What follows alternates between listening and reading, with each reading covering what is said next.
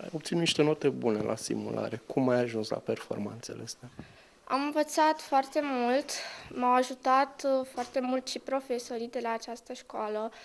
Uh, au avut uh, grijă de noi și ne-au învățat foarte multe. Subiectele? Subiectele mi s-au părut uh, frumoase, chiar mi-am dorit să pice și am avut emoții.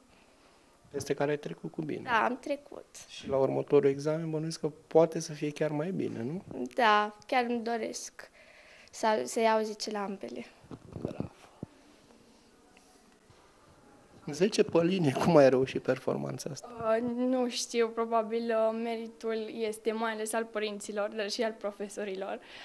Uh, cred că și eu și colega mea Ivona ne-am ambiționat, ambiționat una pe alta foarte mult și mă bucur că uh, facem parte din această școală și că suntem colege uh, și chiar sunt mândră că reprezint școala. Colegi de de generație se plâng în special de subiectele la matematică. Au fost dificile? Uh, sincer să fiu, nu mi s-au părut dificile.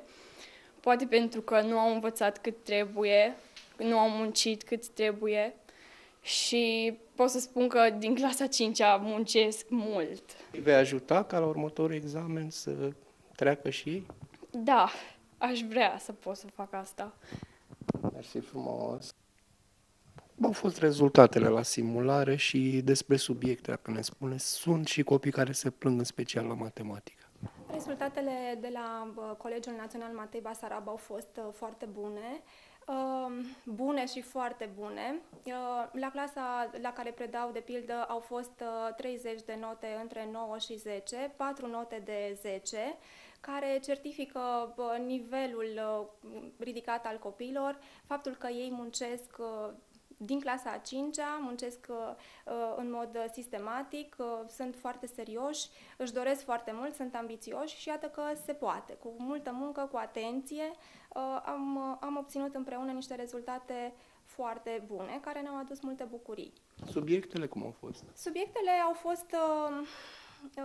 Ne-am așteptat cumva se cunoștea structura, nu ne-a surprins din punctul acesta de vedere deloc. Uh, și am fost uh, pregătiți cu toate speciile, genurile până uh, la momentul simulării, pentru că a existat o programă pentru simularea națională pe care profesorii au urmărit-o și care ne-a ajutat să ne ghidăm și în pregătirea de la clasa elevilor. Au fost câteva subiecte care au necesitat foarte multă atenție, așa numitele capcane, cum le spunem noi elevilor, Uh, și elevii atenți uh, au reușit să le depășească cu bine uh, și au dat seama de anumite dificultăți, au analizat, s-au gândit, s-au răzgândit și în final au ales rezultatul cel mai bun, soluția cea mai bună. De clase vor să-și crească procentul la dumneavoastră, bănuiesc că e problema să-l mențineți. Noi vrem să-l menținem și uh, tindem spre mai mulți de 10, spre mai bine. Cele mai mici note la această clasă au fost uh, de 7,70 la limba română, doar doi copii au luat 7,70, uh, în rest uh, au fost foarte bune. A fost, a fost un rezultat spre bucuria tuturor, părinți, elevi și profesori. Să ne spună și nouă Marinescu Andreea. Se poate spune că școala pe care o reprezentați a trecut cu bine peste acest examen, nu? Evaluarea națională, da. Evaluarea națională presupune un exercițiu pentru uh, examenul care, într-adevăr, va face distribuția în licee anul viitor. Și uh, ne mândrim cu rezultatele pe care deja vi le-au uh, confirmat elevii, profesorii noștri. Mai mult decât atât, uh, chiar și uh, per ansamblu media școlii, peste 8 la română, peste 6 la matematică, înseamnă un uh, exercițiu de imagine și pentru ei și pentru noi pozitiv. Care explicația? Totuși, procentul la nivel de județ nu e unul deosebit. Cred că este vorba despre modul în care i-au conștientizat uh, acest uh, element decisiv în ce înseamnă stabilirea opțiunilor lor, în care au vrut să-și verifice nivelul și totodată să dorească să-l depășească în vară. O mare parte dintre copii își doresc bănuiesc să rămână, nu? Da, și noi ne dorim pentru că în uh, situația în care îi cunoaștem și uh, reprezintă un produs al muncii noastre, ne-am dorit ca această muncă să continue în aceeași echipă. Subiectele cam cum au fost? Având două raportări, pe de-o parte profesorii, pe de-o parte elevii, pot să spun că pe nivelul așteptat al gradului de dificultate. Iar uh, aceste rezultate la evaluarea națională sunt uh, încă o dată verificate prin etapa Olimpiadei de limba română, eleva de uh, clasa 8 -a Suciu Ivona, având și calificarea la un concurs național, Ionel Teodoranu de la Iași. Același profesor de limba română pregătește și elevul de clasa 5 a calificat și pot să spun că este un ansamblu de rezultate. Oare să dăm și numele fetelor? Despre rezultatele obținute la simulării pentru clasa 8 -a, cum se poziționează județul Vâlcea? Care sunt rezultatele? Uh, simularea la clasa 8 -a s-a finalizat uh, vineri 16 uh, martie și toate datele au fost încărcate în SIR de către colegii noștri informaticieni și secretarii comisiilor examenului de evaluare de națională de clasa 8 -a. Uh, putem să spunem că la nivel național uh, ne poziționăm la mijlocul clasamentului, iar um, acest uh, lucru, din punctul nostru de vedere al conducerii Inspectoratului Școlar Județean Vâlcea, nu ne avantajează. Dar ne-am propus ca la următoarele ședințe și întâlniri pe care le avem cu conducerile unităților școlare să intensificăm programul de pregătire suplimentară și să conștientizăm elevii de clasa 8 și părinții acestuia, acestora și catedrele de limba română și matematică de nevoia pe care o au de a veni la școală, a munci, a lucra în plus și a pune întrebări asupra lacunelor pe care le au referitoare la noțiunile pe care nu le-au înțeles. Deci, Putem...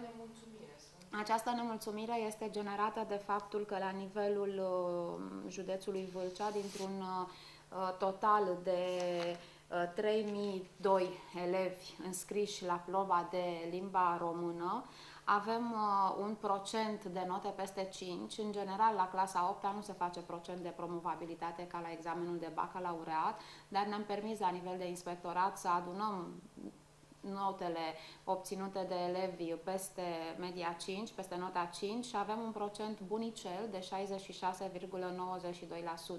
Suntem nemulțumiți, avem doar 7 note de 10, 289 de note între 9 și 10 și 453 de note între 8 și 9. Procentul este bun. De ce spun că este bun? Pentru că comparativ cu notele obținute la matematică, unde elevii nu am înțeles de ce nu s-au mai prezentat uh, într-un număr la fel de mare ca cel uh, uh, în care s-au înscris și care reprezintă numărul de înscriși, respectiv 2991, avem un procent de 34,47%. Uh, de note peste 5. Uh, nu ne favorizează, dar ne face să ne punem întrebări și să discutăm la ședințele de după sărbătorile pascale cu conducerile unităților școlare despre măsurile care trebuie să le luăm la nivel uh, instituțional. Acest lucru este impus și de faptul că um, nu neapărat caracterul permisiv, ci faptul că notele obținute la simulările naționale nu se trec în catalog, și numai dacă, prin excepție, elevul solicită înscris, puteam să-i trecem nota în catalog. Uh, de ce am spus de sărbători? Că vom purta aceste discuții cu dumnealor pentru că este impetuos să completeze și un program remedial la nivelul fiecarei instituții școlare uh, aceste rezultate vor fi analizate la nivelul fiecarei unități școlare prin discuții individuale cu elevii, prin dezbateri la nivelul clasei, prin ședințe cu părinții de la clasa a 8 -a și uh, prin consultările de la nivelul Consiliului Profesoral. Uh, cere timp suntem în calendarul uh, simulării naționale și a pregătirii suplimentare, dar programul trebuie intensificat astfel încât uh, în luna mai, când va fi examenul adevărat, să nu mai avem astfel de probleme și să clasificăm județul Vâlcea la nivel național prin poziționarea lui în primele 10.